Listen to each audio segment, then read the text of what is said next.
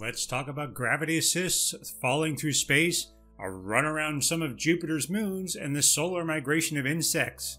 So get ready to have some pizza and let's do the science of the expanse. Season 2, Episode 11.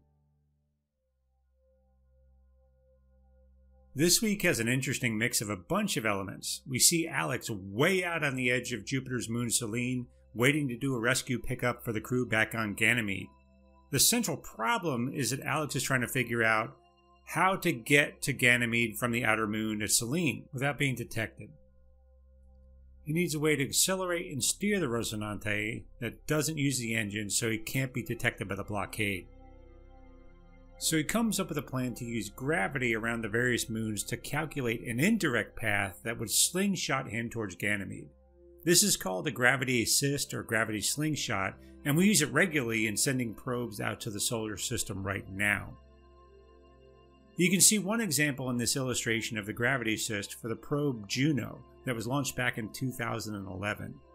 It was originally launched from Earth along a long orbit that brought it back in a year to pick up a little bit of the speed from Earth and its gravity to speed it up and slingshot it out towards Jupiter. Once it approaches Earth, the gravity begins to tug at it, and the satellite begins to pick up speed as if it were falling back towards Earth again. The force of gravity bends the path of the probe a bit, adds a bit of speed, and sends it flying off towards Jupiter as it passes by. I'm not going to get into the exact calculations because there are a lot of variables here. If someone watching is a physicist and wants to provide some of the exact numbers, I'd enjoy seeing them. But to illustrate the kind of potential energies we're talking about here, I wanted to show a few short calculations. The acceleration of gravity on the surface of Earth is about 9.8 meters a second.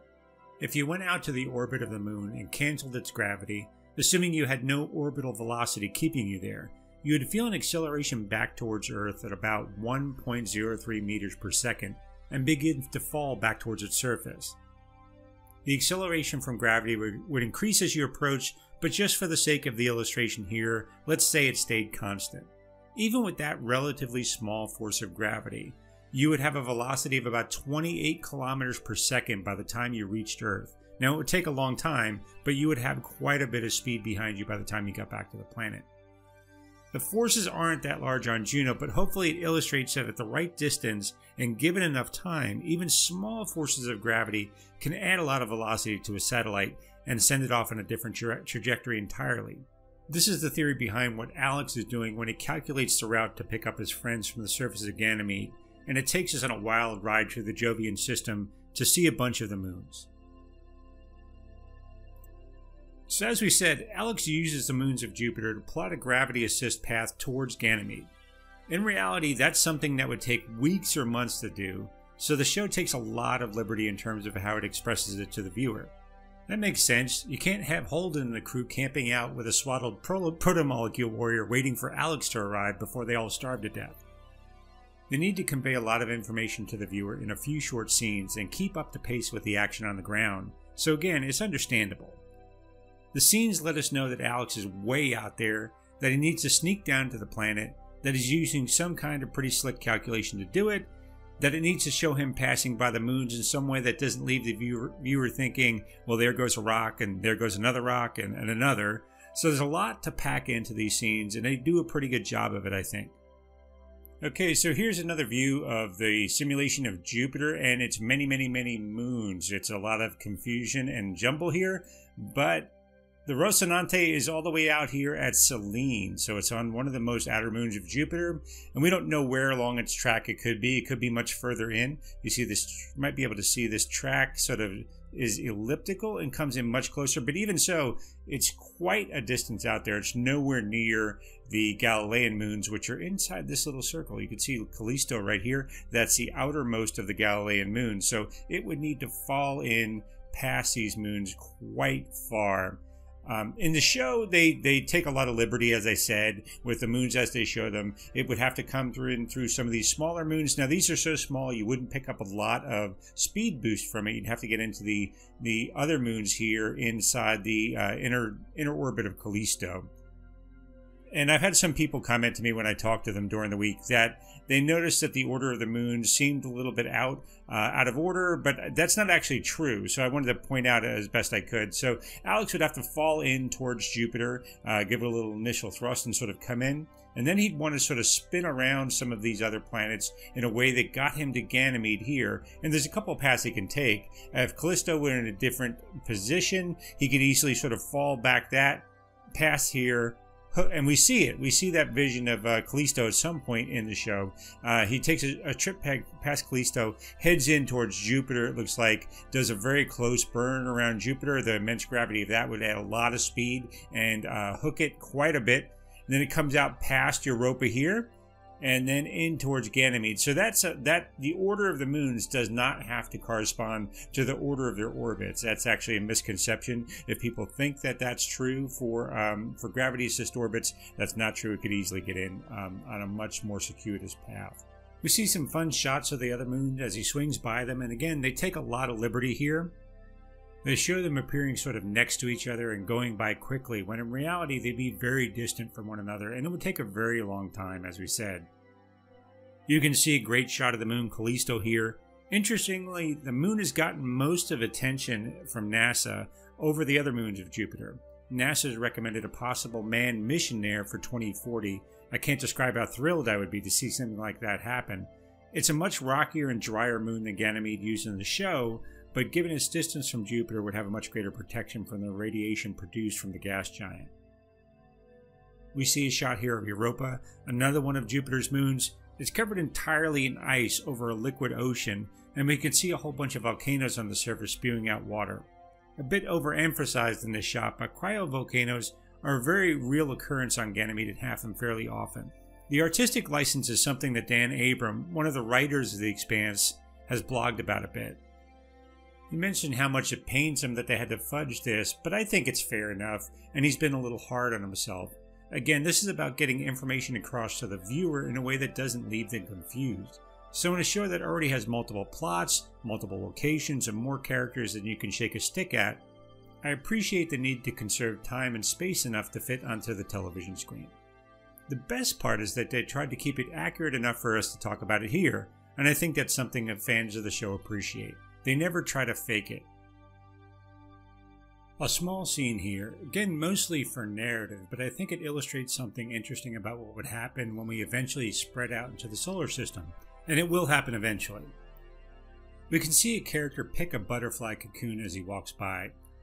These might be cultivated on the station to help plants grow, but it illustrates that as we move out into the solar system, we'd end up with all kinds of critters tagging along and living beside us particularly when we start talking about mass migration, there's almost no way to keep space sterile. And I expect we'll talk about this early era of exploration of the solar system as a kind of golden age where we could study things in pristine conditions. I just found it interesting enough to comment, but I'd like to hear what you think. Do you think we'll keep space clean? Would cosmic, cosmic rays and ionizing radiation keep things sterile for us, or do you think life would find a way out there? What about pets? Once we get out there in the kind of numbers that we're seeing on the show, I imagine people will want to take pets and even smuggle them along with them, maybe. Do you think we'll see dogs and cats out there, do you imagine something else is more suited for life in space, just for companionship? Leave a comment below and let us know what you think would happen and what life would be like out there for him. Before we wrap up today, I want to give a quick show update and some feedback. A lot of people ask me what I plan to do with the show once season 2 of The Expanse wraps up, and they ask if I plan to go back and do previous episodes. I'm definitely going to keep doing the show as usual, and as far as the Expanse is concerned, I'll probably do a few topical shows about things like spinning up series or expanded show on guns in space and things like that. I love the Expanse, and we'll return to it once it comes back next year but I plan on doing other two other shows too, especially as I get better at the editing and the creation of the show. I'd love to maybe move to a, a two show a week uh, paradigm, but right now it's just a big challenge for me to record the show, to write it, and to edit it. So, to help with future episodes, I'd love to hear from you. First, what currently running shows would you recommend that I check out? I've gotten a lot of feedback about going over to cover previous seasons of shows like Battlestar Galactica. I love that show, but I'm mostly interested in covering current shows, news, or movies that have interesting depictions of science in them. So send your recommendations either on the comments section or message me on the back end of my channel with your recommendations. I'd love to hear what you're finding really interesting and what would be really kind of fascinating to explore the depictions of, in terms of the show. Also, I get a number of really great questions and comments, uh, either on the comments here on YouTube or on Twitter. So it's made me think that I'd love to do an occasional viewer questions episode. So if we haven't covered something or you're wondering about related elements that we haven't covered before, drop me a question or comment either as a direct message here on YouTube or on Twitter, and then maybe I can cover it in a future episode. If we get enough responses, I'll try to do a viewer question show maybe every month or so and talk about topics you're asking about or commenting on. I think it could be a lot of fun for everybody. I know I would enjoy doing it, and especially if it's driven by the things you're finding interesting, I really think it'd be creative and, and a fun way to use the time on this show. So let me know what you think.